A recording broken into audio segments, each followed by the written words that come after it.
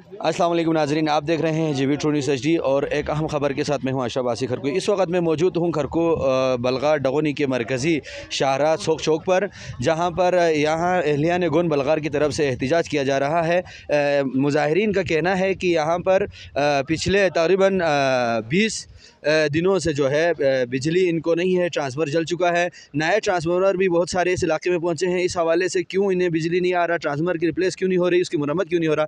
इस हवाले से हम यहाँ पर मौजूद मुजाहरीन से बात करते हैं। आइए अलकुम तो बताइएगा कि ये मसला कब से है और क्यों है, कैसा है, ये सारा नोयत आप बताइएगा। ये मसला सर जी, दस दिन से हमारे साथ बिजली है, न ट्रांसफार्मर भी ख़राब है, हमारे दस दिन से कोई गवर्नमेंट का हमला पूछने के लिए तैयार नहीं है।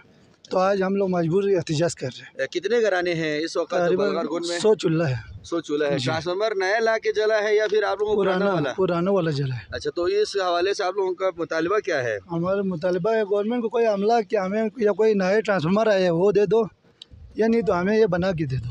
अच्छा तो अगर पूछने वाला की सुनवाई न हो तो ये एहतजाज जो है वो डरने की सूरत मस्जिद आवाम पूरा लाएगा। अभी हम इधर कुछ लोग आए हैं ना अभी हम हमारा मुताबला हल नहीं हो गया।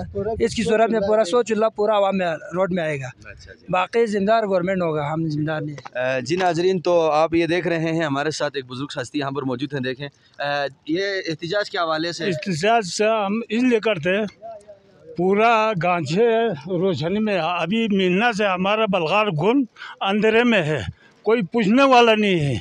इसलिए हमने इससे इस कोई गाड़ी कोई अभी अगर इस पर हल ना होने की सूरत ना हम खंभे को उड़ाते गांजे वाला खंभे भी और कुर वाला खंभा दोनों हम उड़ाना है। कोई यहाँ से जाना नहीं दूँगा हम। क्या जब तक हमारा मुतालबा हल नहीं अच्छा मेरा ये मुतालबा है कि जनाब इंतज़ामिया से कि हमारे ट्रांसफार्मर पहले से मंजूर हो चुका है। अभी तक उसके बावजूद हमारे हमारे पास नए ट्रांसफार्मर नहीं आया। लिहाजा हमें एहतजाज करने पे मजबूर हो गया। ट्रांसफार्मर आगे से डीपी में आया हुआ है? जी कर आए हुए हैं जी। मंजूर भी हो चुके हैं हमारे ट्रांसफार्मर। इसके बावजूद अभी तक नहीं आया।